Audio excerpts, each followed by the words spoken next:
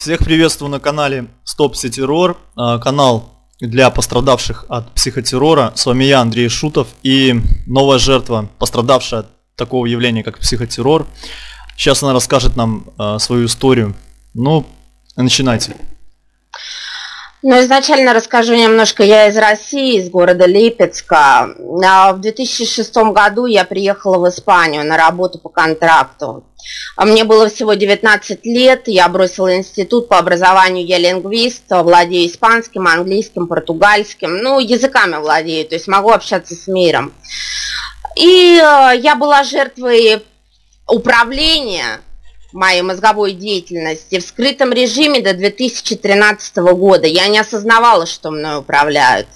То есть это было в скрытом режиме. Потом они, конечно, проявились. Уже будучи, находясь в Испании, я заметила в 2011 году, что моя информация куда-то утекает. То есть меня начали преследовать люди на улицах, а, меня уволили с работы, мне пришлось искать работу, то есть поставили меня на выживание. То есть у меня была хорошая работа, а, вот, и куда-то постоянная информация уходила. Я бегала, я не понимала, я не могла найти сайт Москомека. То есть связаться с людьми, мне просто... У меня давно сидел хакер в компьютере. Я не знала, я была наивной дурочкой. А, вот. И как сказать, они просто наблюдали за мной, как я выживаю. Я была в скрытом режиме. А, в 2009 году я познакомилась, в Испании очень развитый, а, я познакомилась с людьми из Бразилии, Уругвая, Южной Америки, которые занимались а, афро-бразильскими религиями. Но наши российские спецслужбы знают об этих религиях, это Умбанда, Кимбанда и Кандамбле, основанные в 1906 году, но атака религиям больше тысячи-двух тысяч лет, основанная на религии Африки, э, то есть э, страны Конго, Центральной Африки. А, вот. Я начала, то есть у меня исследовательский мозг, я вообще верю в добро, я против вообще рабства черных, белых, то есть э, вообще людей во всем мире. Я за мир во всем мире, за дружбу народов то есть против порабощения, вообще против концлагерей. И мне было очень интересно изучать, то есть познавать, э, что-то узнавать про другие страны, про Бразилию, про Африку, Уругвай, Аргентина, то есть вот эти страны, Южная Америка, Африка. И в Испании это очень развито, между прочим. В Уругвае это развито, там магазинов полным-полно людей, кто этим занимается. То есть полностью она нерве, то есть как в нацистской Германии, я тогда не осознавала, что это она нервы. Они изучают причинно-следственные связи. А, причинно-следственные связи – это что мы делаем в жизни, как мы выживаем, какие книги читаем, то есть какие фильмы мы любим, то есть какой цвет мы любим, то есть, понимаете, в какого человека мы влюбимся, то есть без управления, конечно. Вот если без управления, потому что они могут фальшивую любовь сделать очень быстро. Фальшивое возбуждение, то есть сексуальное насилие, это легко для них. А, вот. А, и получилось так, что а, в 2011, нет, в 2012 году я попала в психиатрическую клинику в Испании. Я поругалась со своей соседской, соседкой по этажу, где я снимала вот квартиру. Мне просто в голову сказали, что она подставная, понимаете? Я тогда не знала, что мной управляют. И, и я просто ей сказала, отстань от меня, не следи за моей жизнью, понимаете? То есть они меня загнали в угол. То есть начали наблюдать за мной, какая у меня реакция будет. Ну и что получилось? Она взяла, вызвала психиатрическую клинику. Вот, я сказала, извините, я говорю, мне этот человек сталкерит, мне мешает жить. Это подставной человек, который лезет в мою жизнь в клинике. Но мне попалась хорошая врач из Парагвая, короче, из Южной Америки. Она мне поверила. А, ко мне приходили подруги из Испании, то есть меня посещали в психушке там в Испании, из Бразилии, из Уругвая, из Испании, то есть приходили, то есть навестить меня, то есть сказать, что я вменяемый человек, то есть я здоровый человек, я не конфликтный, я добрый человек. А, вот, э, и получается меня выпускают быстро, э, то есть буквально три недели. А, я пробыла, А, но врач сказала мне ее посещать, конечно, я тогда была в скрытом режиме, понимаете? То есть мне так, я тогда еще не осознавала, даже волновых ударов не чувствовала, ожогов. Это потом уже начались эти пытки.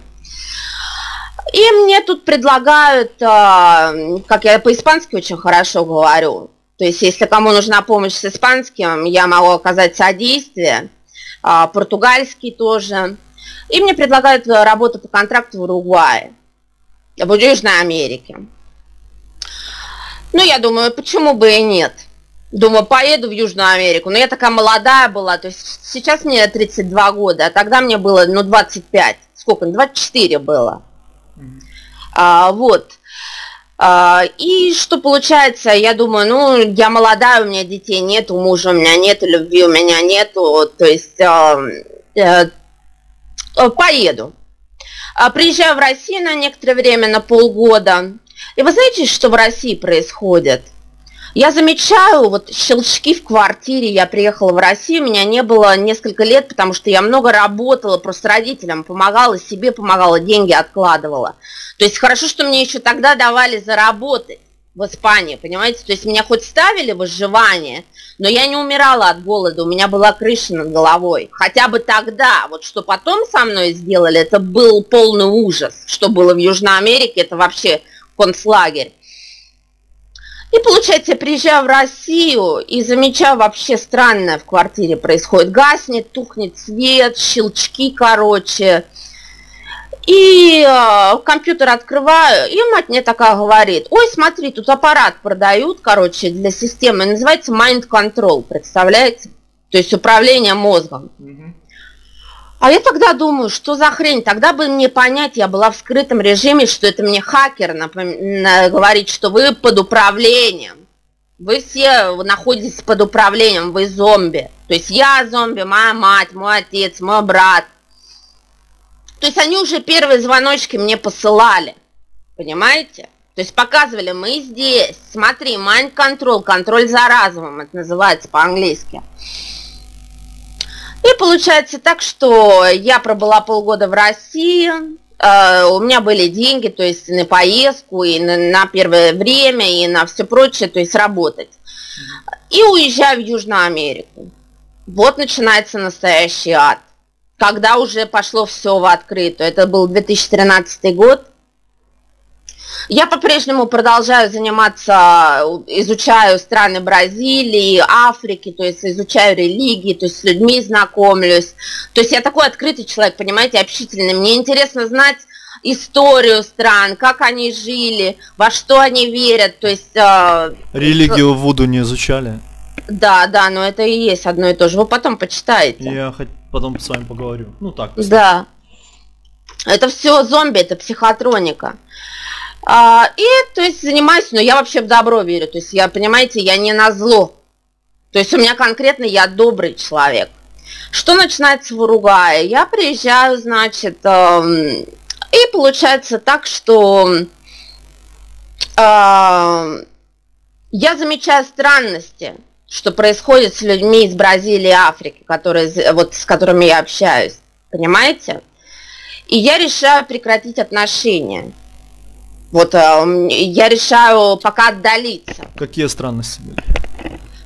А я замечаю измены, то есть моя подруга, которая вот там жила, она, знаете, у нее, у нее муж, у нее двое детей. И она мне говорит, пошли, короче, с двумя парнями, будем отдыхать. Вы понимаете, я уже странность замечаю, что это не ее поведение я замечаю алчность, то есть какую-то вот, понимаете, вот лишь бы содрать деньги. То есть ты мне скажи вот просто так, то есть скажи мне, помоги мне деньгами, да я тебе дам деньги. Просто как другу, понимаешь? Как человек тебе дам деньги. Но не обманывай меня. То есть, понимаете, я начинаю вот видеть первые звоночки, что меня отдаляет уже. Отдаляет. И я решаю прекратить отношения, просто работать, жить одна, то есть ходить в парке, в музее, то есть как-то развиваться, смотреть фильмы там по субботам, по вечерам, то есть э, такую спокойную, нормальную жизнь. А, хотя с личной жизнью мне вообще не дают никак, то есть перекрывают мой рот, мне так в голову и говорят, что мы тебе изуродуем ребенка в животе, мы сделаем так, что тебя твой муж бросит, то есть ничего хорошего. То есть, э, понимаете, они говорят, что изуродуют моего ребенка в животе, прям в голову, в наглую, понимаете, это не мои мысли. А, вот. И тут я переезжаю, вот есть квартал Баррио де лос Худиос, по-испански называется. Это называется квартал евреев. В Монтевидео находится, столица Уругвая. Я переезжаю туда жить. И тут полетели в меня иглы. Тут началось облучение, то есть волновые удары, понимаете, вот иглы в тело. Вот я чувствую, что меня колет, то есть не комар кусает, меня колет в правую, левую ногу, то есть Меня- я у меня многих... в пятки прям колят.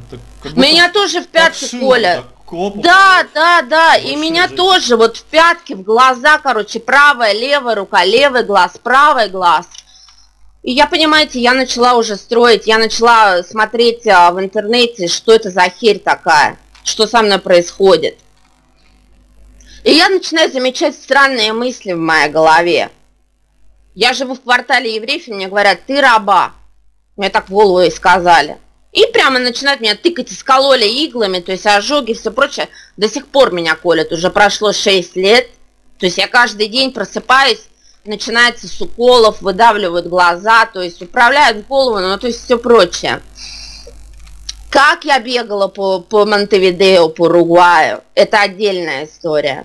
Как я там выживала, меня поставили на край выживания, меня, я устроилась э, на хорошую работу вот по контракту. И сейчас, На- я вмешаюсь, извиняюсь, вы сейчас тоже в, квар- в квартале этих евреев живете? Нет, я же в Липецке, в России нахожусь. А, уже переехали в Россию. Да, я же в России уже три года живу. Я же вернулась. Меня, меня по сути дела, меня изничтожили. С меня кожу сняли в Уругвае. Ну для них мы все гои, как они говорят. Э, Гои для них это рабы, типа. У нас у всех другие какие-то души для них. Они богоизбранные. Почему-то. Ой, да господи. А, Там Почему, что никто не понял, почему. Иисус к ним пришел, но они как Бога его не признали, Сына Божьего. Вот. Но считают себя богоизбранными, потому что к ним, наверное, Моисей приходил. Ну, Ну, возможно. Да, так вот. И получается так, что меня поставили, я понимаю, что был проект, разработка операторов. Мгм. Отдельно хочу сказать о Второй мировой войне. А, просто меня задело это, понимаете, вот когда меня гоняли по Уругваю, то есть я сбегала из одной квартиры на другую, я строила, я покупала металл, представляете, я застраивала стены металлом, то есть я чуть ли не шлем делала, понимаете, то есть металлический, чтобы убрать всю эту херь. Дерево, то есть все прочее, то есть плексиглаз, то есть я все это изучала, всю эту хрень. Ничего не помогает, если честно. Так это внутри А вот- нас. Вот я порой сидел, перебью, извиняюсь тоже. Да. Блин, дурная привычка. Я сижу и думаю иногда, сам думаю, вот про себя думаю, блин, это убрать, если это только вытащить из тебя, да, хочется это аж вырвать из тебя, что-то, да, что в тебе вот внутри. И это тебя, вот как я на видео показывал, видели, как они, как они доканывают, вот этот тыркает штукой своей этой, мышка ничем там будет. Он же тыкает Да, да, телу. да, да, да, да, Постоянно, да. то есть, это вообще больные Конечно, люди на конечно. И получается так, что потом я поехала на границу с Бразилией работать. Меня уволили с фабрики, то есть меня дискредитировали, понимаете? Мне сказали, что там подставная. Меня начали, короче, в голову. Опять подставные люди меня поругали, короче, с моей коллегой. И меня раб- работодатель с хорошей работы увольняет. То есть контракт прикрывает, все прочее. Я уезжаю на границу с Бразилией, в Ривьеру, провинция Ривьера. Живу там, работаю. Мне опять по- повезло, меня устроили, короче, официанткой. То есть уже работа хуже. То есть все хуже и хуже, понимаете? Уже все. Мне перекрывают жизнь. То есть э, э, от одной, от хорошей работы я ухожу в дерьмо. То есть вообще на выживание. А, Работаю некоторое время, там ничего не происходит, то есть а, как не происходит, пытки каждый день, все одно и то же, то есть выживание. И получается так, что я возвращаюсь обратно в Монтевидео после границы с Бразилией, потому что в Бразилию я решила не ехать, хотя могла уехать, но решила не ехать. Потому что я по-испански лучше говорю, это, чем по-португальски. Я португальский знаю хорошо, но по-испански я говорю лучше.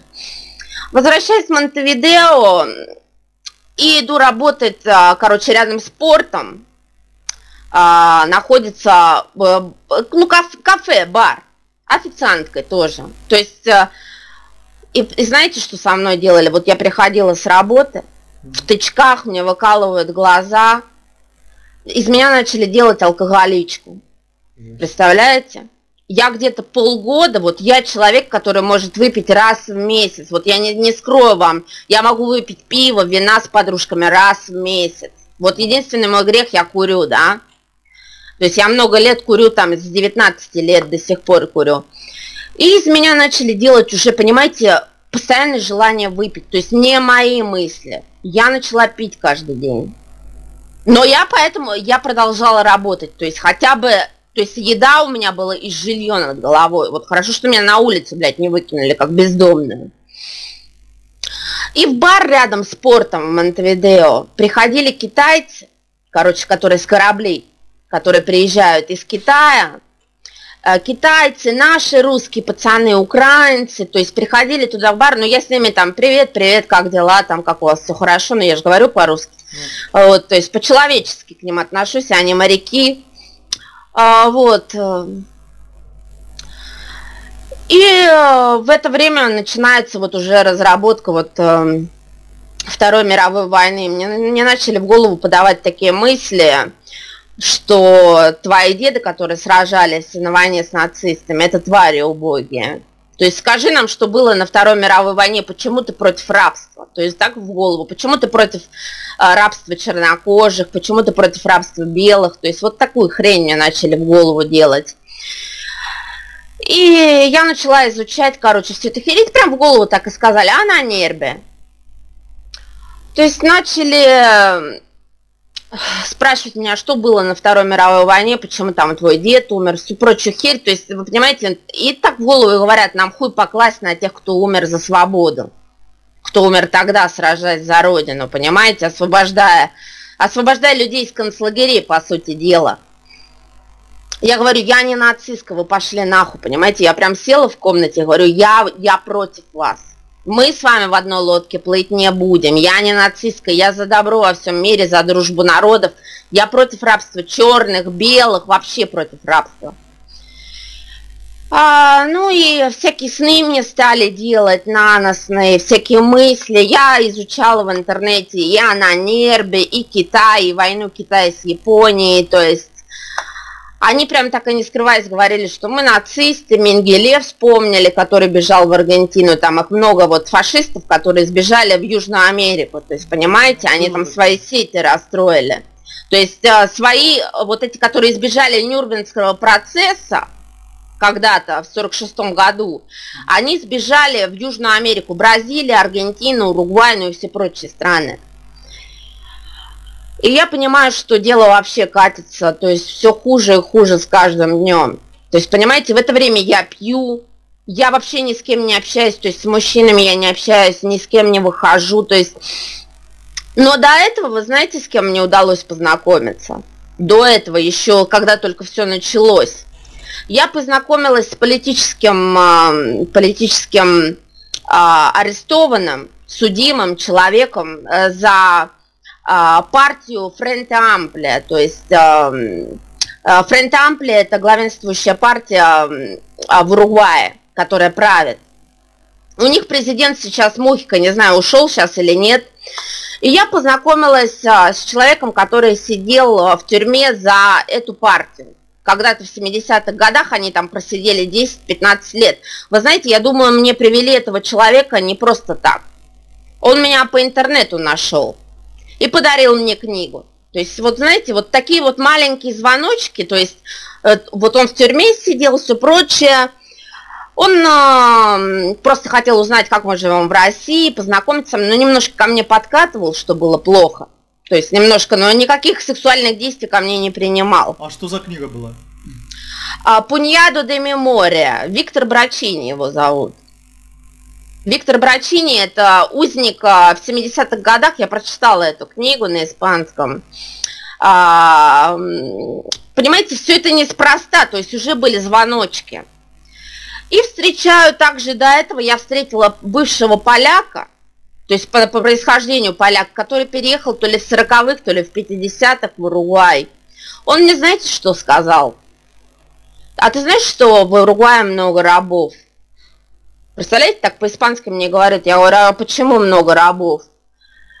А он мне такой говорит, ну вообще в рабство люди попадают, которые приезжают. Вот вы знаете, я думаю, что может быть он был подосланный просто-напросто. То есть мне намекнули уже, что ты раба, mm-hmm. что ты узница концлагеря. И он бывший поляк, то есть, ну, поляки когда-то были, ну, знаете, что с Польшей началась война Вторая мировая. Да, было дело такое. Было дело, да. И он мне на это намекнул, то есть маленькие звоночки, узники, узники тюрьмы, рабы какие-то, вот странные вещи начали происходить в моей жизни.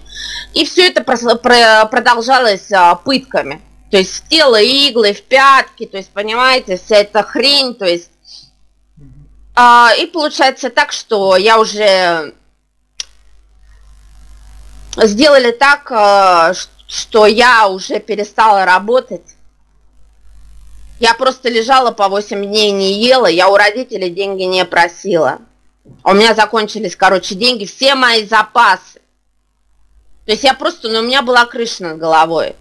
Я лежала на кровати, и меня обжигали лучами, короче, все тело. Выжгли грудь, у меня была грудь, то есть третий размер. Вот неплохо такой, конечно, говорить, но просто обычный женский третий размер.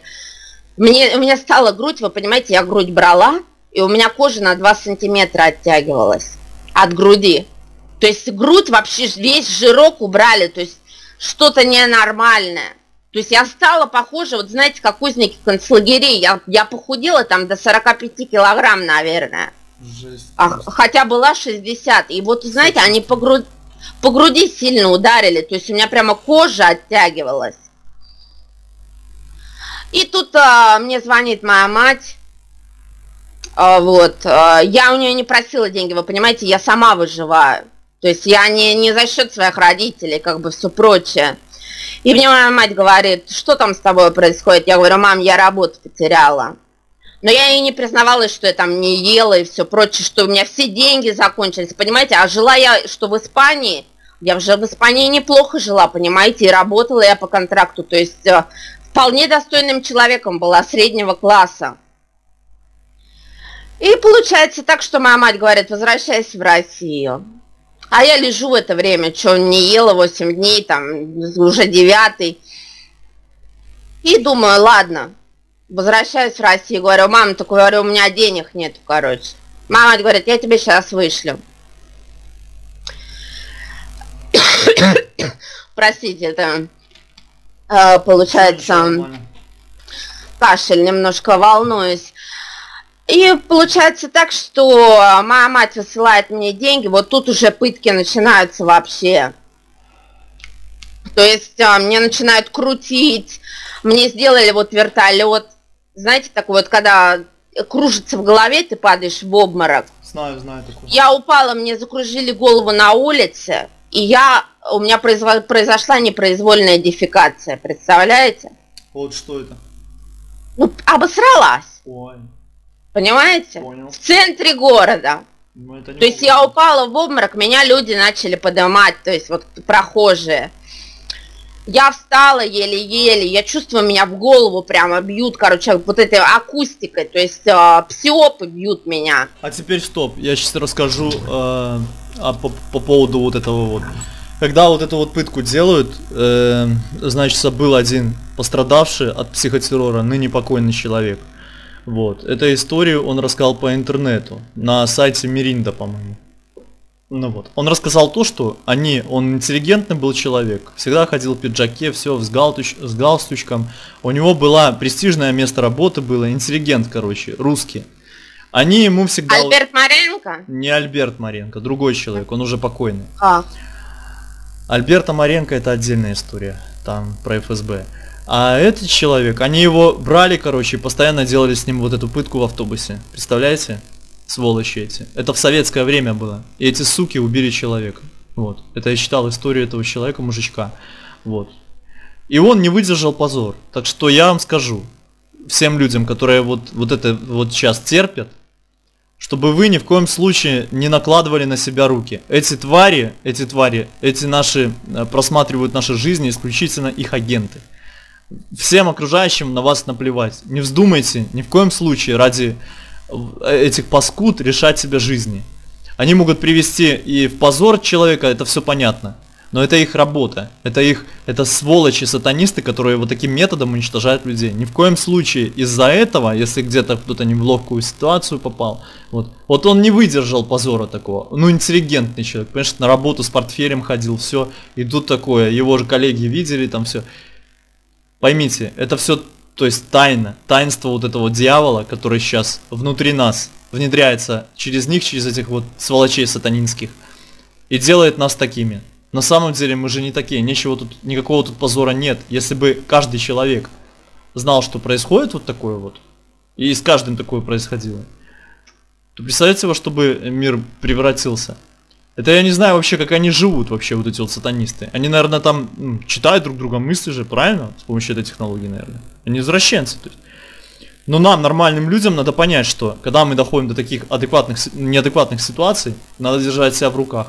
А то я знаю, люди мне пишут там, я уже на себя руки наложил, там, что-то вены хочу резать, там. Ребята, не надо этого делать. Вы тут ни при чем. Наша, наша функция организма просто, естественно, под воздействием. Нас доводят до таких ситуаций, поэтому я удивлен. Вы, ну, молодец, сильная женщина, что ну, держитесь, все там, пере, пережили Но, это. Вот знаете, вот когда это произошло со мной, люди хотели меня на вот когда вертолет случился, идификация, то есть, ну, откакалась. Представляете, мне полиция хотела помочь довести меня, я говорю, нет, ну, представьте, воняет, все прочее, я говорю, я пешком дойду. Но я дошла, то есть, ну, это было. То есть, одна, одно из методов пыток, понимаете? То есть, надо мной это тоже было. Понятно. И вот сейчас немножко вкратце расскажу о России. Возвращаюсь я, значит, в Россию, вот тут уже начинается вообще. То есть а, я приехала в Россию, меня тычут в тело, облучают меня. То есть какой-то ужас, выкалывание глаз, все прочее. То есть в голове вообще беспорядок. И тут уже начинается просто волной удар в голову. То есть я чувствую мысли вообще про нацистов, про всякую херь, то, что ты должна сдохнуть, иди зарежься в ванной, короче, все прочее, то есть а, полная хрень, короче, начинается. И я начинаю в срочном порядке искать психотронный террор в интернете. Иду в полицию, пишу заявление. В полиции, конечно, надо мной посмеялись. То есть нахер меня послали, сказали, ну, девочка, ты, ты вообще... Родители, вы знаете, родители сами на, на управлении, то есть на череп голос, э, голос черепе, простите, а, voice to school, V2K, они просто мне не поверили. Я говорю, меня пытают психотронно, ты понимаешь, надо мной издеваются. Я говорю, меня облучают, говорю, день ото дня, говорю, надо что-то делать. Они говорят, нет, ложись в психушку. Я попадаю в психушку, короче, уже в России. И карательная психиатрия доходит до меня, я объясняю психиатру, я говорю, вы понимаете, я физически чувствую боль. Я физически чувствую чужие мысли в моей голове, навязанные. Это не я, понимаете? А это вообще, это пси-оператор мной управляет, мной играет моей жизнью, как с тварью играет, понимаете? Я просто игрушка, то есть я, я игрушка для битья, то есть меня насилуют, мои мозги насилуют каждый день, каждый божий день, понимаете? И психиатр мне такая говорит, ты отсюда не выйдешь, пока не сменишь свое мнение. Так Представляете? Все, понимаете, психушки в каждой дурке вот в этой вот стоит их человек. И он туда людей вот таких вот, как мы, кто рассказывает про это, их, нас туда пакуют. Мне вот женщина, я недавно брал интервью вчера, она мне вчера рассказывала, говорит, тоже была в психушке. Получается и говорит, там 98% людей, они все здоровые. Три человека где-то будут душевно больных. И это правда. То есть психушки созданы для нас, вот, для людей, здравомыслящих людей, нормальных. И их врачи вот эти вот, они специально, они уже знают, что ты к нам пришел, сейчас мы тебя наколем, сейчас мы с тебя сделаем раба, типа, ну, чтобы ты, типа, да, они, да. им уже заранее сказали, заведите карточки на них, э, чтобы они молчали, сделайте так, вот, чтобы они молчали. То есть, все работает исключительно для этого концлагеря. Мы живем Но... в фашистских странах, можно сказать, в фашистском мире. Да, да. Это правда. И получается так, что я решаю уходить в подполье. Просто-напросто. Я стояла, курила в психушке, короче, в туалете. И там был разговор девчонок, я говорю, девчонки, говорю, такая херь, говорю, я не больна, говорю, надо мной просто меня облучает, понимаете, я чувствую физическую боль, не просто моральную, психологическую боль, управление моими мозгами. Я говорю, я чувствую боль в тело, понимаете, надо мной, меня пытают. И мне одна девушка говорит, уходи в подполье, то есть говори, говори, что а, то есть а, уходи в подполье, иначе тебя не выпустят год, то, то есть 8 месяцев, все прочее, твою жизнь разрушит, ты будешь стоять, то есть э, испортит тебя, понимаете, то есть э, жизнь, социальную жизнь, потом на работу не возьмут, все прочее, все прочее, все прочее.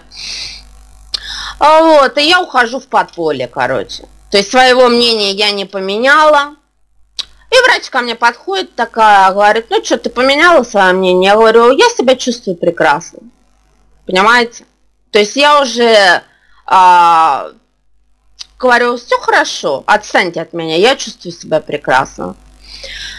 Получается, меня выписывают, а, я была там два месяца, поставили мне диагноз а, психоз с симптомами шизофрении. Вот, а, до сих пор прохожу лечение, то есть меня колят каждый месяц нейролептиками, клопексолом. Вот, психиатр, конечно, мне мило улыбается, то есть, а, а я в подполье ушла, понимаете, то есть я своего мнения не поменяла. Я буду бороться за вообще за человечность, за права человека в этом мире, блядь, против психотронного рабства вообще, против концлагерей но уже чтобы без психотропного хери, чтобы не сидеть, понимаете, там за, запертый, то есть вообще не выйти на улицу, там в психушке сидеть, понимаете? И получается так, что мне не дают работать. Вот я пыталась э, устроиться на работу в городе. А, мне дали проработать три дня, я уволилась, потому что я физически чувствовала невыносимую боль, а, вот, а, но мне, слава богу, мне дали работать удаленно. То есть дойти до компьютера, на HeadHunter, ХХРУ, то есть я нашла работу удаленно. Вот, а сейчас а, перехожу на более высокооплачиваемую работу, чтобы больше помогать своей семье, брату, то есть и что-то какое-то добро в мир делать, вообще что-то не останавливаться на этом, понимаете? Понимаю. Что есть хотя бы удаленно мне дали работать. Вот, вот спасибо этим садистам, хотя они не заслуживают слова спасибо. Хотя бы я какую-то копеечку могу удаленно заработать, понимаете? А в городе мне не дают работать. То есть э, а, получается так, что личную жизнь немножко скажу. Вот этот голос уже не церемонится со мной, они мне прямо в голове разговаривают со мной, понимаете? Прям свои мысли вкладывают. Вот, это называется технология, а вот а, рас, а, наши все операторы русские работают по технологии, похожей voice to school, то есть голос в череп. То есть а, мысли-образы, то есть мысли навязанные, все чужие мысли, мысли все оператора, то есть что он скажет, то я и думаю, понимаете? Вот, а, и получается так, что я не могла найти сайт Москомека 6 лет, вы представляете, вот у меня хакер сидел и сидит до сих пор. Мне просто посоветовали купить новый компьютер и новый телефон. Один, а, один человек тоже в пси-терроре посоветовал, говорит, менять, вот чем чаще, тем лучше компьютер, телефон, потому что они взламывают, все прочее. И, эм, как сказать, меня сейчас мысли сбивает пси-оператор. Честно, он хочет меня заткнуть, мне рот просто. Я это чувствую. А, ну что продолжается, понимаете? Я... Стоп, по поводу, я вас возвращаю, по поводу компьютера да. вы рассказывали, что э, вам посоветовал один человек поменять компьютер, а что часто взламывают и так далее. И... Да, да, антивирус не помогает. Не помогает, это да. Вообще не помогает, то есть у них технология, но вы знаете, я знаю такую вещь, что а, если бы мы создали организацию, то есть а, какую-то, которая, которую, а, если мы объединились всем миром, то есть этих хакеров, возможно взломать другими хакерами и через них узнать все операторов, потому что хакеры работают все операторами в компании, понимаете? Они работают все вместе. А, как, как объяснить, предположим, э, у меня такое бывает, э, захожу в YouTube, И там мне показывают видео, которые я, предположим, вчера видела. То есть э, вчера я выходила на улицу, я видела такую-то, такую-то ситуацию. У меня в Ютубе это прям все выкладывают. То есть хакер работает напрямую с всеоператорами. И что хочу сказать, э, как-то в будущем надо к этому прийти, э, чтобы объединиться с хакерами, нормальными людьми, чтобы взламывали вот этих плохих хакеров, которые работают на все операторов. То есть а, что-то надо делать. И как сказать, а, моя жизнь сейчас, вот скажу честно, вот какой-то шум появился, я не понимаю откуда-то, вот, эм, наверное, мешает просто. Или дайте потише сделаю. А, личная жизнь, могу сказать сразу. Вот как я уже сказала, мне прямо в голову сказали, мы изуродуем твоего ребенка в животе понимаете, чтобы родился уродец. Или чтобы он вообще, то есть, не родился. И мне также сказали, если ты познакомишься с мужчиной, мы сделаем так, что он тебя бросит э, беременный или вообще бросит тебя, короче, ну, из, уйдет от тебя. Короче, растопчет твою жизнь. То есть э, личной жизни у меня нет, у меня сильно ударили по красоте. Я могу вам показать фотки, прислать, какая я была 4 года назад. Да не, вы сейчас тоже очень красивы. Да, это вы меня еще не видели 4 года назад, вот, вот а когда... Я любуюсь, сижу, есть, смотрю. Понимаете, вот тогда я, я просто был... про себя думал, думаю, каких женщин портят, суки эти. Да вы знаете, как меня сильно испортили? У меня уменьшили рост, у меня что-то сделали с тазобедренным суставом, тазобедренными вот костями.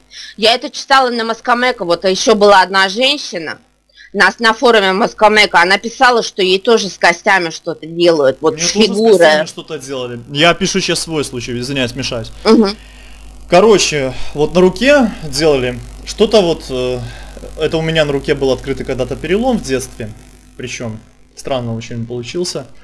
А, то есть я упал с крыши бани, лазил и будто бы вот как-то развернулся, не увидел то, ту дырку, дырку, как вот залазишь на крышу, получается отверстие такое, э, отверстия, там лежали дрова, там какие-то мы маленькие лазили. Я ее вот как-то не увидел, типа мне ее скрыли. Вот как будто дьявол скрыл, я в нее ногой раз и полетел. А вот, я сломал тогда руку, вот. И э, такое чувство, будто бы делают. Вот между суставами, получается, вот сустав идет, рука. Тут прилег, прилегает же, ну, то есть воссоединяется рука, вы меня поняли, да? И вот тут вот именно, где вот этот вот участок, где кости соединяются, они будто бы там какое-то растяжение делают. То есть ты руку вот так вот тянешь, и у тебя боль между вот этим участком получается, вот тут вот. Угу. Ты не можешь ни на турнике висеть. Ну, я человек э, спортивный, я вижу, думаю, ё у меня реально, они взяли руки как-то растянули, то есть я не мог не отжиматься, ничего. Вот когда воздействие ушло, все, я опять, я чувствую, ко мне силы пришли, я могу уже подтягиваться, отжиматься, все. Вот такое вот делать. Это именно, именно не боль, а такое чувство между суставами, что-то вот, какая-то как пустота, и ты не можешь руку разогнуть нормально, то есть какой-то такой дискомфорт настолько, что просто такое растяжение какое-то, вот что они делали мне. Вот, возвращаясь, вы рассказывали, что... Ну вот а, тазобедренные суставы, ага. что-то не то, понимаете, у меня стали короче ноги, я ростом уменьшилась. Я стала, понимаете, я за год поправилась на 30 килограмм, вы представляете? Угу. То есть я об этом читала у одной англичанки, жертвы пыток. Она тоже писала, что сперва из нее резко сделали кость, э, кожу и кости, как в нацистской Германии, то есть skin and bones это называется. А потом ее резко, изуродовали, сделали из нее жирную, понимаете? Вот со мной то же самое. Сейчас я стремительно худею, то есть я хожу к врачу, к эндокринологу, то есть пью таблетки. Получается худеть, но медленно. То есть а, фигура у меня, ну сколько, 80 килограмм, но это ненормально, понимаете? Я была, вот мой нормальный вес 58-60, я всю жизнь такая была. То меня сделали 45 килограмм, когда пытали в Уругвае, в Южной Америке, то сейчас меня сделали 80 килограмм. То есть сильно ударили по красоте. А сейчас мужчины, они любят более худеньких, понимаете? То есть...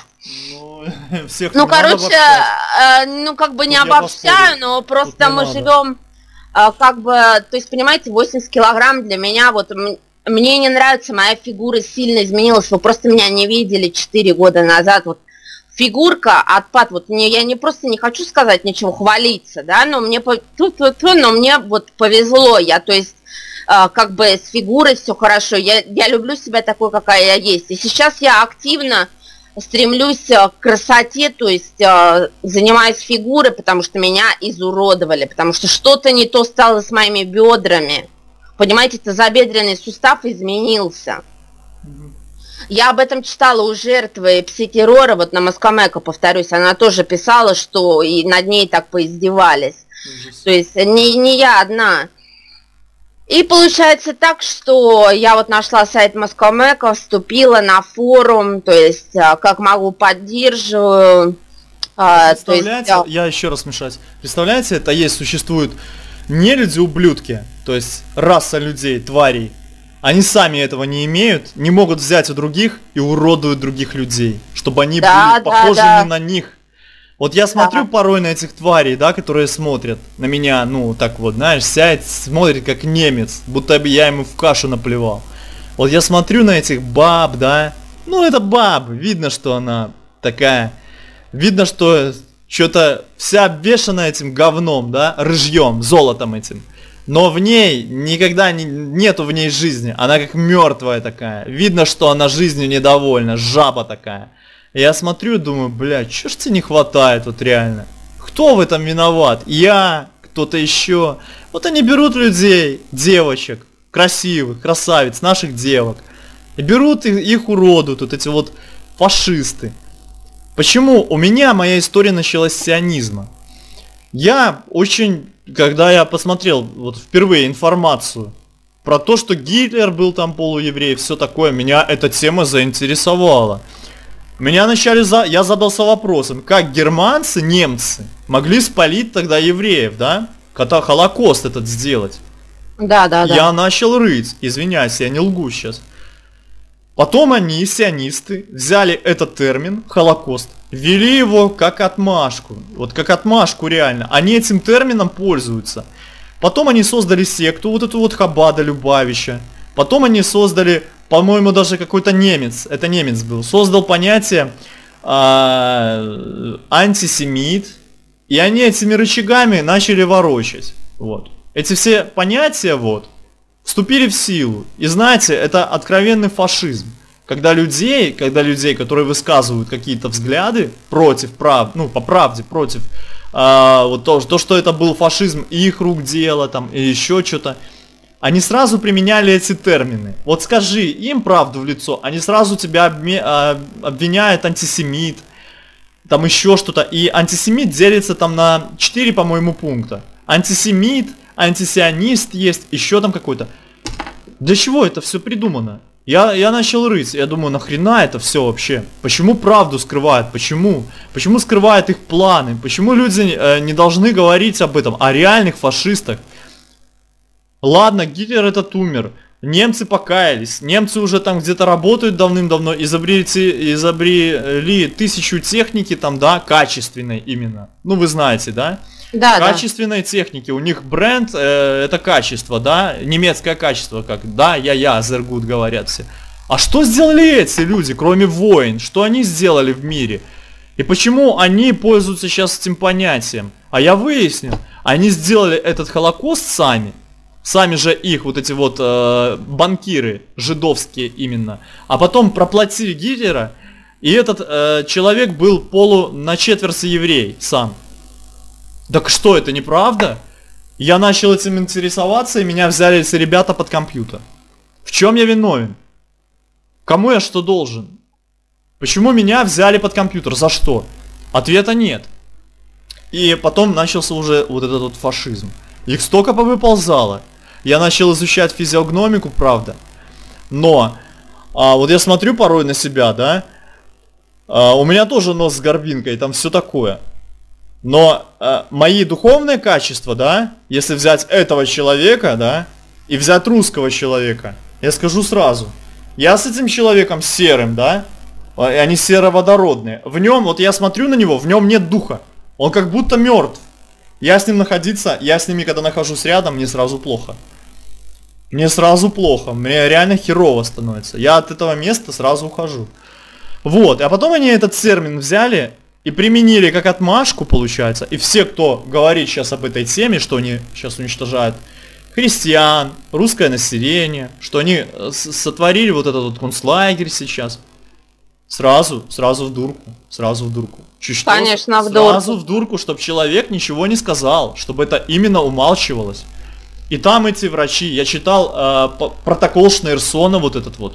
Это их, э, вот этот вот э, человек, который был глава секты этой. Что он там писал про нас, про людей, про людей именно русских, славянских. Это страшно, у меня глаза повылазили. Вы знаете, вот реально. Я посчитал, дал людям, они мне сказали, ни хрена себе. Да я этого, ну женщины такие вот, женщины за 40, да, они говорят, да мы такого не знали. Я говорю, так а вы с ними живете, вы же хвалите, вы же лелеете. Они, они же говорят всегда, наши люди, как евреи самые умные люди. Тут не на, тут наци, на, национальная точка здесь ни при чем.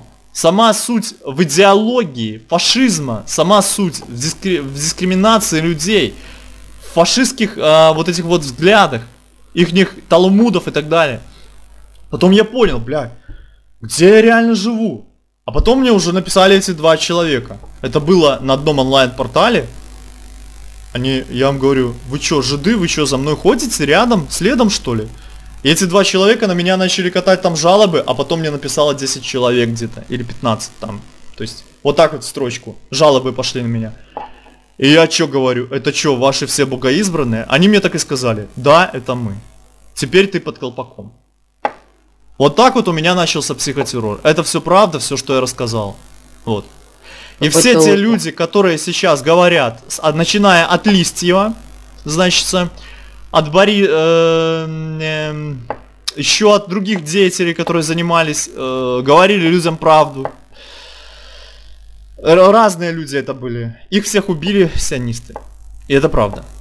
Это правда. Это фашизм высшей, э, высшей формы всех их э, докторов, хирургов, которые э, брали людей, э, ставили на них опыты, женщин они уродовали, брали икры, резали женщинам и так далее. Это было все продемонстрировано, продемонстрировано было, э, не помню, когда этот суд был, в каком году уже, я уже забыл, на Нюрнбергском этом суде. Там показывали женщин этих изуродованных. Наполовину все эти люди были евреи. Все. Там одни еврейские фамилии и Некоторые из них переехали в Израиль и приняли даже иудаизм. На могилах прямо. Перед смертью, перед смертью они приняли иудаизм. Представляете? И эту тему суки сученные сейчас пытаются скрыть, и они сейчас правят и, и Россией, и так далее. Это правда все. И эту тему просто никто никогда не, не трогал и не хочет под страхом смерти.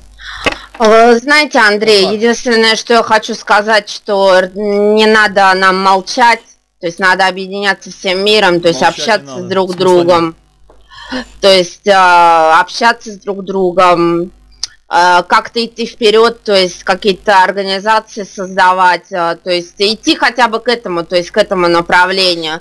Я чем могу, тем помогу, то есть э, если есть жертвы из Испании, из Бразилии, из Южной Америки могут обратиться ко мне, то есть чем могу, помогу, там, как выжить, то есть могу советы дать, то есть кто если начинающий, то есть попадает в тяжелые ситуации, как найти работу, как получить документы, то есть хотя бы, потому что преследуют в международном масштабе, это бесполезно бежать, понимаете? Они везде, ты ж пойми. Они везде, да. У них есть, я ж тебе объясняю, я даже на ты перейду, извиняюсь. Есть у них вот эта книга эта. Они ее торят с пеленок. Это их учение уже тысячи лет. Все остальные люди для них это рабы, они их делят. Банкирская система их. И где есть их люди, там есть этот вирус. Все, вас, вас они считают гоями, и они будут вас определять, вот, куда бы вы ни пришли. Они вас знают, вы везде помечены. В картах везде медицинских, везде. Куда бы вы ни шли, за вами будут следить эти люди. Они уже будут следить за вами. И а, эти вот. люди везде по всей планете. Их доктрина это взять вот эту методичку и по этой методичке вас убивать. Все. Вот, а, просто что хочу сказать. А, чем могу, тем, тем помогу, то есть каким-то советом, то есть как избежать ошибок, как вести себя в каких-то ситуациях. То есть на мне много пыток уже сделали. Вы знаете, что на мне вот последнее время делали? Понимаете, я на пять минут становилась нацисткой, мне даже страшно стало. Жесть. То есть, представляете, мне показали, говорят, мы так делаем нацистов. Мне прям в голову сказали. Я говорю, я... Простите, меня стучат, походу. Потому что, если что, мы, может, интервью приведем, потом продолжим. Я там расскажу кое-что. То есть, я на пять минут стала нацисткой, понимаете, такую злобу почувствовала, такую ненависть к миру, я говорю, убери свою херь, я говорю, я не нацистка, ты ошибся дверью, говорю. Я добрый человек, я за добро в мире, за, за дружбу между народами, против рабства, против геноцида, против концлагерей, как тебе еще сказать, против преступлений, против человечества, понимаете? Вот моя позиция, все убери. И еще мне делали стокгольмский синдром. Ну, это что? То есть э, на пять минут мне делали, чтобы я хотела, чтобы меня пытали, представляете? Это какой-то ужас, то есть в голове, то есть стокгольмский синдром, ну, почитайте в интернете. Это когда ты испытываешь любовь к своему мучителю, к своему палачу. Я говорю, ты свою херь убери, я говорю, отключи свое управление, и ты почувствуешь мои настоящие мысли, мое презрение к тебе, мою ненависть к тебе, мое противодействие. Вот я физику изучала, у меня пятерка по физике была в школе. На каждое действие есть противодействие. Это закон динамики. Да. Понимаете, я, я так им и говорю, понимаешь, на твое действие найдется противодействие. То есть найдутся люди, которые станут против тебя, понимаешь? Ну, что-то надо делать. Информация Поэтому... поступает во Вселенную, а если уже идет поток информации, то он, эта информация влияет на весь мир, на Вселенную. Даже об этом есть фильм, который даже запрещен во всем мире. И если наша информация уже вот сейчас пойдет потоком во Вселенную, это уже изменит мир. По-любому. Да, да, и вот что хочу сказать, если люди находятся в пытках, там особенно в Испании, в Уругвае, то есть в Бразилии, то есть а, если чем-то им надо помочь, каким-то советом, как, как себя вести, куда пойти, как получить документы, как не сдохнуть просто, понимаете, как выжить, а, могут обращаться ко мне, то есть а, могу дать мои контактные данные, я есть на Москомеко на форуме, а, есть а, вот криминальная психотроника, тоже там есть а, среди вступивших в группу. Вот, то есть хочу помочь людям, что они не одни в беде, понимаете? Правильно. То есть э, хочу помочь, чем могу, чтобы они не совершили преступление, потому что многие люди совершают преступления просто под управлением на, на компьютере, понимаете? Понимаю. А, вот. Э, и то есть э, вот мой посыл в этот мир, то есть э, что-то надо делать и не останавливаться, и, и, понимаете, тоже надо работать. То есть хоть как, если как дают работать, мне хотя бы удаленно дали работать, уже спасибо. То есть я э, хотя бы так, то есть пусть я в город не выхожу, пусть я никуда не хожу, то есть э, социальная жизнь у меня только через интернет, то есть э, а, все прочее. Ну, там иногда с друзьями общаюсь. Вот, а так э, меня беспокоит э, судьба людей в России, в Украине, в Беларуси, в Испании, ну, Южная Америка, Германия. То есть э, много мучеников появилось, жертв пситеррора. Да. А, вот, и надо что-то с этим делать. А так, Андрей, просто сейчас у меня уже надо мне работать, а то я отпросилась ненадолго, вот, а, надо уже начинать. А если еще какие-то вопросы появятся, то есть ко мне, то есть еще что-то рассказать, потому что на мне много проделано. А, я еще вот а, быстро скажу, а, на сайте Кэтрин Хортон, а, это женщина, жертва пситеррора, доктор физических наук. А, у нее есть жертвы пыток 15 человек то есть а, в файле PDF на английском языке. И понимаете, там страшные вещи выходят. Я вот их почитала на английском языке, я просто свободно читаю на английском языке, но я лингвист по образованию. А, вот. А, и просто мне становится жутко. Я вот себя узнала. Что я почитала... Описали, да? То есть пытки. Что там описали, да, то есть пытки вот над человеком, то есть лишение жизни, социальное, оставление в беде, выживание, физические волновые удары, выкалывание глаз, V2K, Voice to School, то есть управление, нейрокомпьютер. А есть у вас этот файлик на руках? Ну, Uh, есть, я могу вам прислать Скайпе его. пришлите, пожалуйста. Ага. Да, но если что, там я могу вам помочь перевести, если английским не сильно владеете, или сами переведете. Я вот сам он на английском. Переведу. А, ну сами переведете тогда. А, Вот, а, просто когда ты видишь это все в перечне, ты ужасаешься, насколько крупные преступления. Когда ты это все размыто говоришь, вроде как-то не очень, понимаете? А когда ты видишь все это в перечне, ты ужасаешься и говоришь, да, это со мной делали, это я постоянно испытываю, это постоянно. Просто, Это- просто а, ты, у тебя мозг включается, ты осознаешь, что, блин, нас реально э, есть, существует э, скрытая власть, которая реально берет и ставит эти эксперименты на людях. И где-то сейчас, возможно, в соседней квартире, в соседнем доме сидит, сидит человек, может девочка какая-нибудь, мужчина там задыхается от этих пыток, помирает от этих пыток. То есть, да, человек просто погибает. Но этого никто не узнает. Об этом не хотят говорить. Эту тему заклеили, все. Нам хотят сделать, чтобы мы молчали, чтобы никто об этом не знал. У людей куча там проблем, да, сейчас там они отвлекают людей там политикой, всем этим. А реальность, реальность закрыта. Главная проблема, я же говорю сейчас, вот эта технология 5G и э, пыточный этот концлагерь, который строят, понятно кто, да, люди вот эти вот, с, с большими деньгами с э, завороченными волосами. Вот они этого хотят. А все пока будут сейчас друг друга бить, там, китайцев пойдут бить, еще кого-то. А, ну вы знаете, отдельное слово быстро про китайцев скажу. Вот я же работала с китайцами вот в Уругвае. Помните, я вам рассказала, что они приходили в бар, вот моряки китайские. И уже находясь в России, мне говорили, ты за китайцев, то есть ты за монголов. А я им сказала, я говорю, вы знаете, в России живут буряты, э, немцы, то есть много калмыки, то есть мон- мон- монголы, монголоиды, узкоглазые. Ну, Просто я говорю, нельзя уничтожать человека, потому что он узкоглазый. Надо смотреть, ну как сказать, это плохо, понимаете, ненависть такое делать. И мне говорят, мы так тебе и будем выкалывать глаза. И каждый день мне выкалывают глаза. Я говорю, и за что я страдаю? За Китай? Я говорю, ну похрену, я буду страдать за монголов. Я говорю, я не буду монголам выкалывать глаза, понимаете? Я сказала так, я монголу, у нас сколько в России народности живет?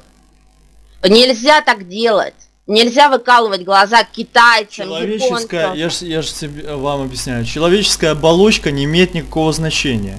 Оболочка это лишь оболочка. Мы рождаемся, мы погибаем. Люди рождаются разными. Никто не знает, в каком теле он родится. Главное то, что скрыто у нас внутри. Это наша духовность. Это то, как мы выражаем, да. Вот, допустим, э, если взять любого человека, да, если взять любое учение, если человек тянется к добру, неважно кто он. Я же э, объясняю, национальность здесь или там внешние факторы здесь ни при чем. Главное это духовность. Если человек духовно мертв, ему нравится жизнь, жизнь пороков, страданий, мучений, когда другие страдают, ему хорошо. Кто бы он там ни был, китаец, монгол, еврей, это не имеет значения уже. Он все, он духовно мертвый. И какой бы он красавец там ни был, внутри него чудовище. Он сатанист. Внутри него ад. Все, он мертв. Ему остается прожить жизнь, взять миллион долларов, это да, протратить в себя и подохнуть. И гореть в аду. Все, и остальные из-за него погибнут. Получается так. Да, вы знаете еще, что быстро скажу? Я стала неугодным человеком. Мне просто так объяснили. Мне сказали, что ты против рабства черных и белых. То есть ты против рабства. Ты за монголов, то есть за негроидов, то есть за европеоидов, то есть за дружбу народов. Мне так и сказали. Ты неугодно, потому что ты не хочешь строить концлагеря, понимаете? Послушайте, я вам объясню. Это чокнутые люди. Больные на всю бошку. Вы нормальная девушка. Вам они могут сказать, что они с другой орбиты, там, с другой, с космоса. Они космонавты. Вы верите в то, что вам говорят. Не верьте этому. Скажи, ты психопат, иди в больницу, тебе лечиться надо. Я объясняю. Есть, э, существует нормализация. Это адекватное осозна- осознание жизни, да, то есть нормальное восприятие жизни и объективный взгляд на жизнь. Мы все нормальные люди. Мы понимаем, что существует там много всего, истории, много всего. Но когда тебе что-то навязывают, и ты понимаешь, что это не твое, понимай, ты осознавай, что ты нормальная девушка. в тебе все хорошо, это с ним что-то не так. Вы говорили этим людям, вам надо покаяться и идти в психушку, потому что с вами что-то не так. То есть эти люди, эти ребята, им поставили функцию говорить вам то-то, то-то, то-то. Вы воспринимаете эту критику по отношению к себе, поймите. Критики, критики по отношению к вам нет. Это просто их задача. В отвечаете задачу, поставленную против вас, от реальности. Вы нормальный человек, с вами все хорошо. Вас ничего такого нет. Вам не надо кого-то там ненавидеть, что-то. Это все выдумали, это иллюзия. Это их игра. Вам надо осознать, что вам надо вычеркнуть это все, поставить себе цель в жизни и выполнить эту цель. Если вы этой цели будете, э, ну, то есть, э, будете э, с этой целью жить, то есть, да, вот у вас есть идея, да, заработать деньги, там, помочь человеку, это ваше. А то, что вам говорят эти люди, психопаты, это точно не ваш. Они могут сказать вам, что они котики из космоса, я же говорю, еще кто-то там. Новый вид человека. Знаете, как они одной девочке говорили? Мы боги, мы там какой-то, я новый инопланетянин. Меня зовут Родо, я там какой-то космонавт. Мы пришли тебе помочь. Вам не надо помощь от них. Вам не надо а, от них мысли слушать. Вам надо осознать то, что вы личность, вы индивидуально э, вообще по жизни, вы самостоятельный человек и у вас есть свои мысли, и вам не надо навязывать чужие. И всем жертвам я скажу, те люди, которые сейчас э, поддаются, может быть, хоть как-то этим манипуляциям, вы сразу говорите себе, я это я, и меня родил таким Бог, и никто не вправе мне диктовать свои условия и свои э, понятия какие-то, или там еще что-то. Вы свободная личность, и вы свободны, вы имеете право ступить шаг. Конкретно вам я еще дам пару советов там наедине.